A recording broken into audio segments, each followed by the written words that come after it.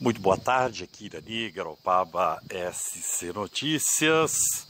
Garopaba com esse final de tarde aí maravilhoso, com uma temperatura em 23 graus.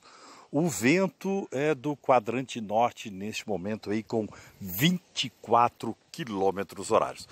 A previsão para amanhã, quarta-feira, quinta e sexta é de alerta laranja para chuvas. Vai chover bastante nesses três dias, é a previsão neste momento. É claro que a gente vai ficar acompanhando e vamos trazer para vocês, mas estamos em alerta laranja a partir de amanhã, quarta, quinta e sexta-feira. Hoje um dia tranquilo em Garopaba, como tem vento, né? O vento em 24 quilômetros as pessoas não saíram e a galera não saiu para caminhar na praia, certo? A gente vai ficando por aqui.